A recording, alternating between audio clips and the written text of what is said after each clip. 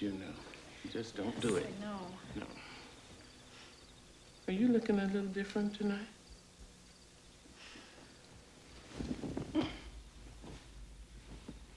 My Aunt Pauline passed this quilt down to me. It was made by my great great grandmother. She called it The Life Before.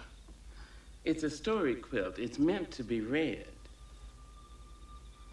When I was a little girl, my Aunt Pauline would tell me the story from the quilt, how my great grandparents met.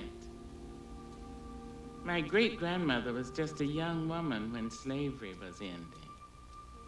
And when she was finally free, she set out to look for her parents, who had been sold off years before.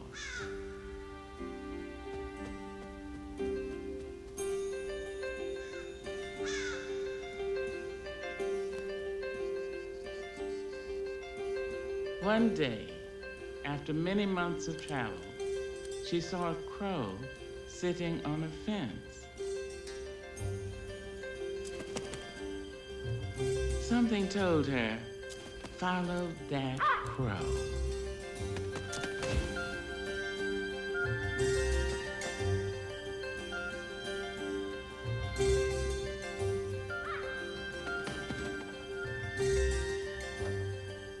The crow led her to a young man working his acres.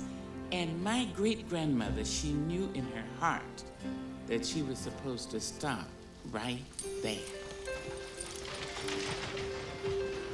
It seems that the search for her parents had led her to the man God had intended for her to marry.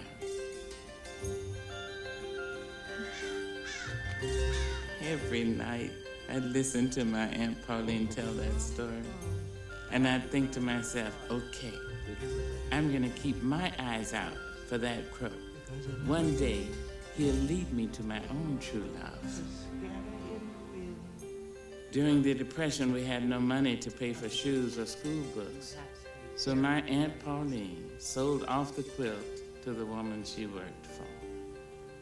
The woman paid Aunt Pauline $12 and hung our quilt on her wall. Where did you get this marvelous piece? Pauline sold it to me 10 years ago. I got it for a steal. I felt like whatever I knew of the life before was now gone.